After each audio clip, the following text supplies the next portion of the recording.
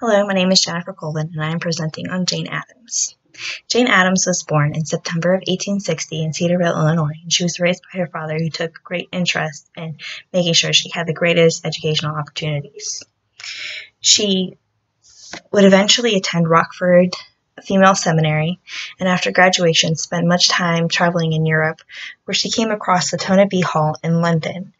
This experience was probably the most influential moment in her professional life, as we will see later on. But in this experience, she learned and saw how giving people the opportunity for success could change society for the better.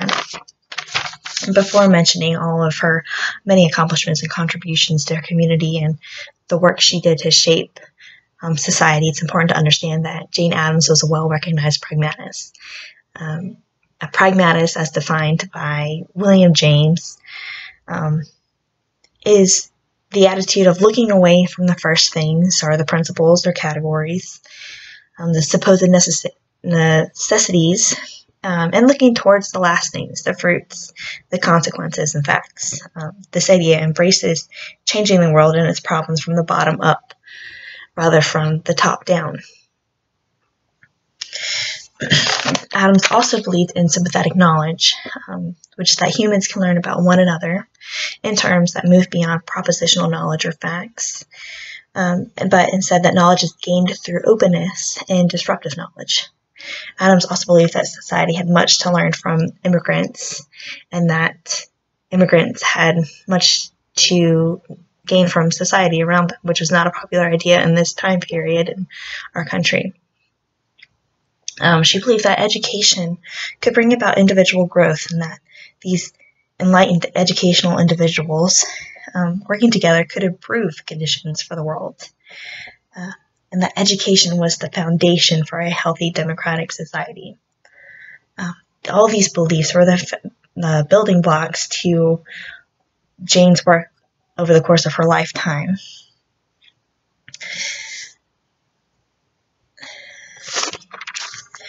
Addams' greatest contributions to the educational system stems from her founding the Hull House in, in Chicago in 1888. What started off as a few rooms in her personal home um, eventually led to encompass a whole city block in Chicago.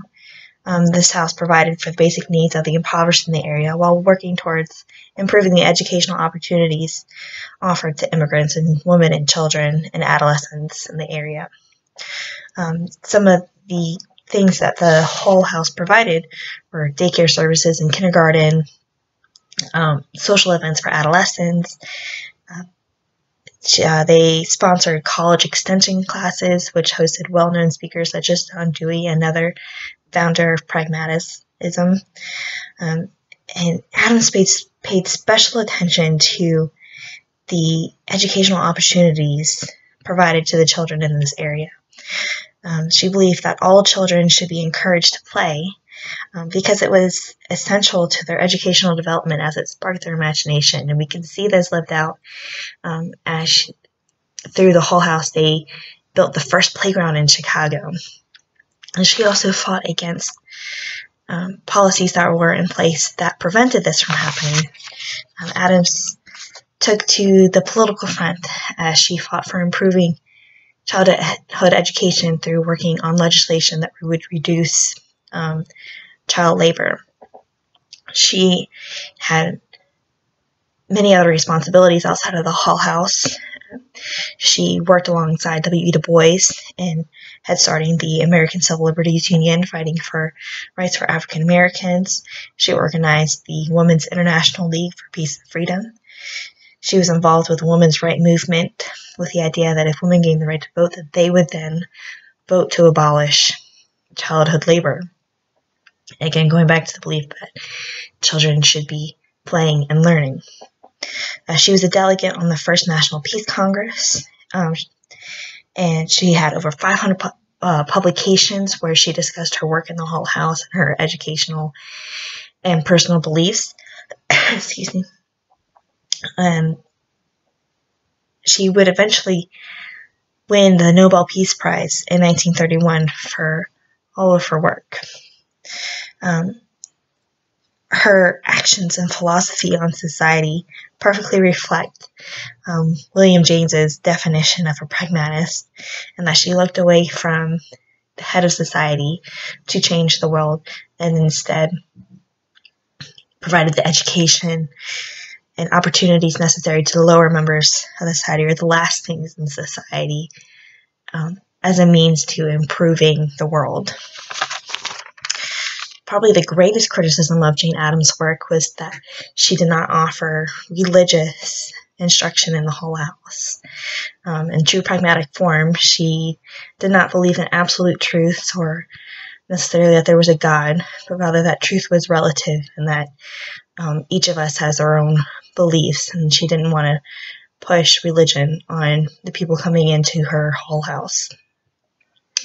While I personally disagree with Addams' understanding of the idea of truths and absolute truth, it is difficult not to agree with her ideas on trying to improve society by offering educational opportunities to even the lowest.